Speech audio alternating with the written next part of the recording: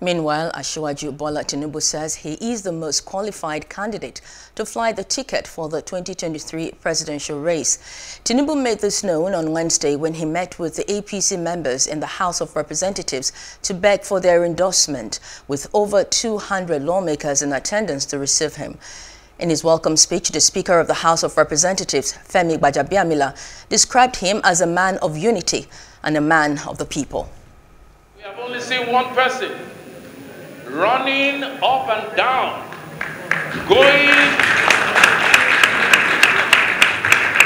traveling the length and breadth of Nigeria, giving to respect to whom respect is due, selling his wares marketing his trade, delivering his message.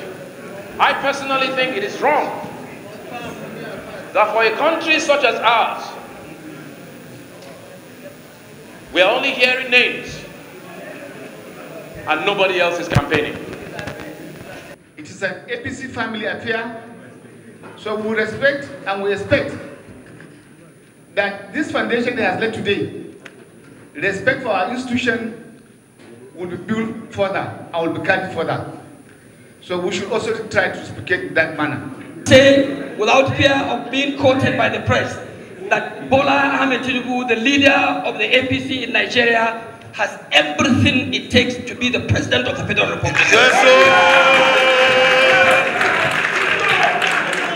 you have what it takes to aspire. You have what it takes to run you also have what it takes both in terms of intellectual to win and capacity. Capacity covers every other aspect of human capacity to be the president of the Federal Republic of Nigeria. Inshallah. I'm the only one in the race. I did know that is most competent, most qualified to be your president come year 2020.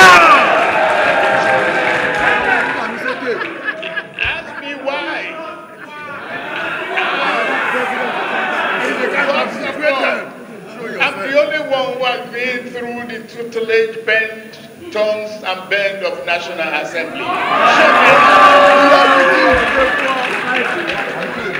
where, where is that other person?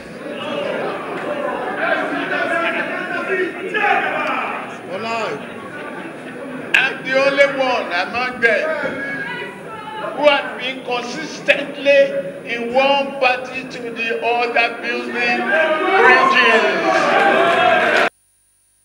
Please do subscribe to our YouTube channel and don't forget to hit the notification button so you get notified about fresh news updates.